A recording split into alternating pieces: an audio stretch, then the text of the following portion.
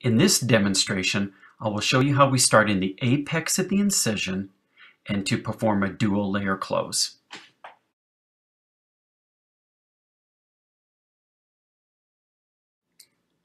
The yellow foam on our skin pad here will represent a deep tissue layer. We'll begin by taking our quill bidirectional thread and making our first throw into the apex of the incision.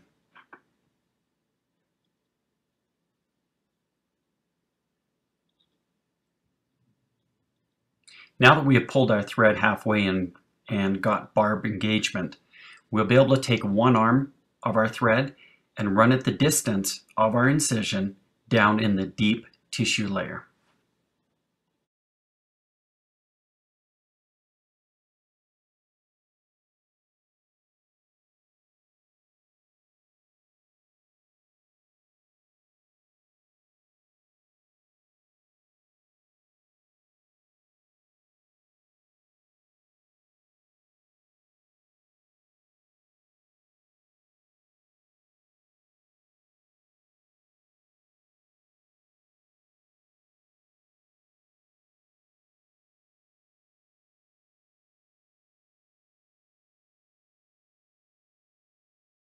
Now that we've completed the deep tissue pass, we will go ahead and make our final throw into the apex and prepare for the back stitch. Remember, back stitching is the key. Now that we've completed our deep tissue close, we'll go ahead and close the sub-Q layer or the intradermal pass.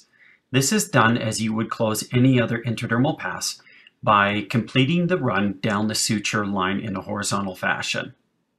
Remember, quill never comes above the skin.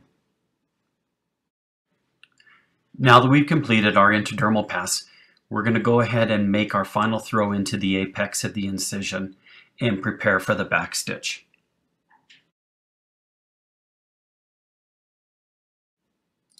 You will now need to complete the back stitch.